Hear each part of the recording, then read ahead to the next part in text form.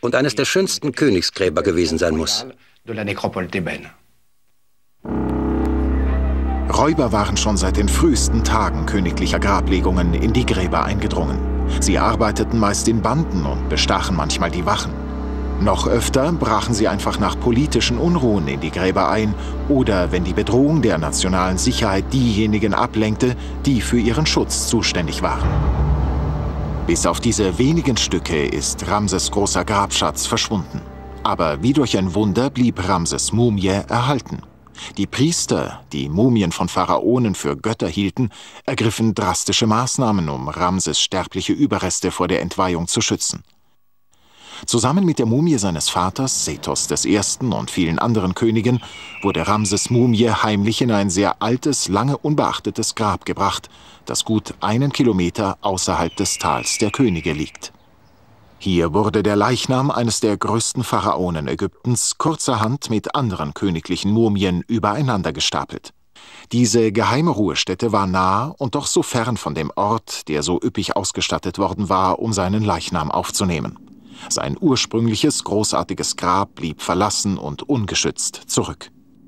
The final indignity was zu allem Übel drangen in den Jahrhunderten, nachdem die Mumie des Pharaos herausgeholt worden war, die seltenen Wüstenunwetter hier ein und füllten das Grab mit Wasser. Die wunderbaren Gemälde und Reliefs, die einmal jede freie Fläche hier bedeckten, wurden vernichtet.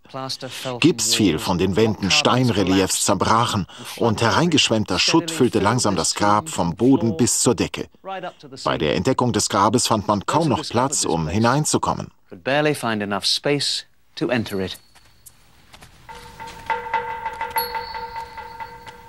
Schließlich wurden 1881, nach über 3000 Jahren, die versteckten Mumien in dem geheimen Grab vom deutschen Museumskonservator Emil Brucksch wiederentdeckt. Der Verbleib von Ramses sterblichen Überresten war also kein Geheimnis mehr. Aber in dem geheimen Versteck der Mumien oder in Ramses Grab wurde nichts gefunden, das das Geheimnis der verschwundenen Söhne des großen Königs gelüftet hätte. Wie konnten diese Prinzen, deren Existenz so sorgfältig dokumentiert worden war, einfach aus der Geschichte verschwinden? Es sollte über 100 Jahre dauern, bis man eine Antwort darauf fand. Alles scheint darauf hinzuweisen, dass Ramses Söhne vielleicht die ganze Zeit nur einen kurzen Fußweg entfernt vom Grab ihres Vaters begraben waren. Wenn man aus dem Grab Ramses II. kommend ins Tal der Könige geht, sieht man, dass er nicht allein war. Es gibt noch 61 andere Gräber hier. Wenn man dort hinaufgeht, kommt man zum legendären Grab Tutanchamuns. Sethos I., Ramses Vater, ist dort beerdigt. Merneptah, sein Sohn, liegt gleich um die Ecke. Aber wo sind die Gräber der vielen anderen Söhne Ramses II.? Nun, knapp 30 Meter von hier liegt dort drüben das Grab Kings Valley Nummer 5. Und in KV 5 könnte die Antwort auf diese Frage zu finden sein.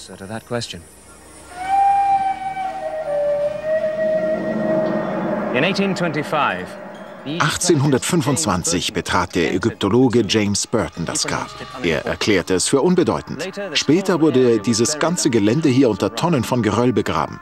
Touristenbusse fuhren ganz nah daran vorbei. 1987 fand der amerikanische Ägyptologe Kent Weeks den Eingang zum Grab. Als er endlich hineinkam, machte er eine Entdeckung, welche die wichtigste seit Tutanchamun sein könnte.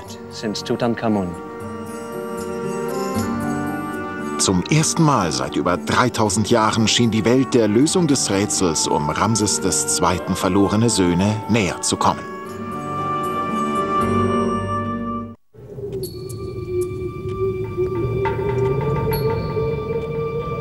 450 Jahre lang wurden Ägyptens Pharaonen in einem abgelegenen Wüstental beerdigt, um sie vor Grabräubern zu schützen.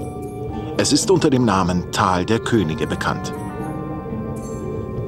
Hier wurden 62 Gräber in den Kalkstein gegraben. Diese unterirdischen Paläste